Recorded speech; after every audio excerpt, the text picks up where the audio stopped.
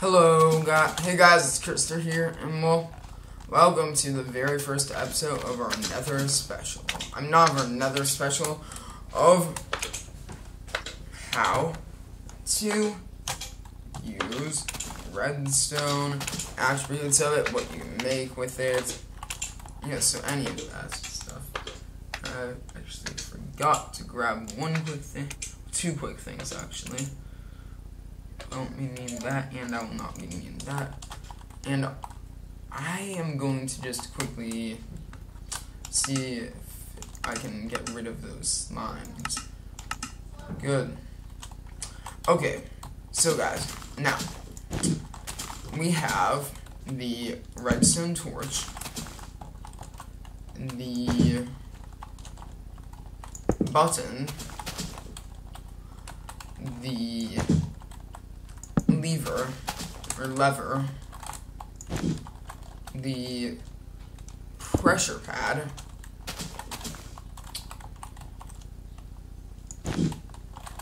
the piston,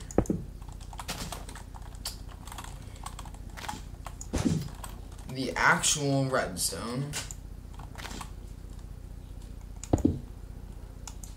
and why not just make this easier for you guys to see, I'm just move these to easier way so then you know exactly what these are.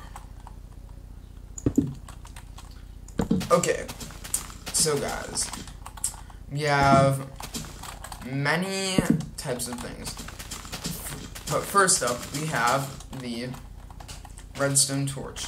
Now, redstone torches can be used for a lot of different things. They can be used to split circuits, like this. Actually, wait, no, not like that, like this. And then, yeah, so also they can pretty much just be used to power any block. We have the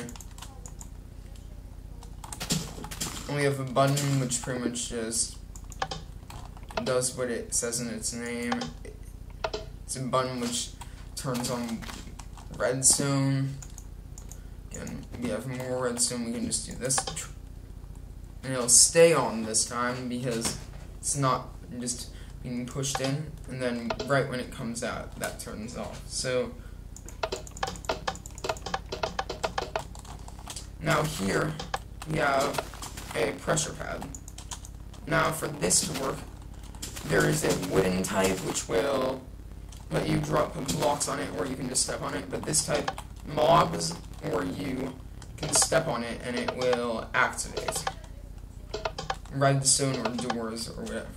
Now, here we have a piston. Now, for this, pretty much is just a simple block which can push another block.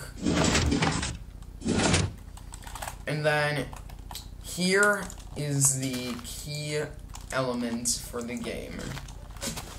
Or I guess technically this is redstone.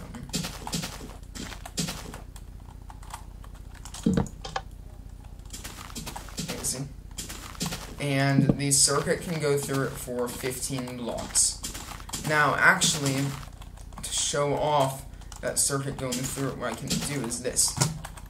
grab these, and well, next up is the repeater. Now this is a repeater. You, it has four different settings on it, and it pretty much can be used to either add more length to a redstone circuit or put a timer on it's then let's just say I'll grab these, set them all to the longest timer. Place down another piece of redstone, grab a lever, and then look. It goes slowly and then it lights up the redstone. So yeah, that is the repeater for you. So yeah, guys. Oh yeah, I almost forgot. there is one other new block, the redstone lamp. So of course it acts like a lamp. You just put down some a certain type of block to light up, and it can just go.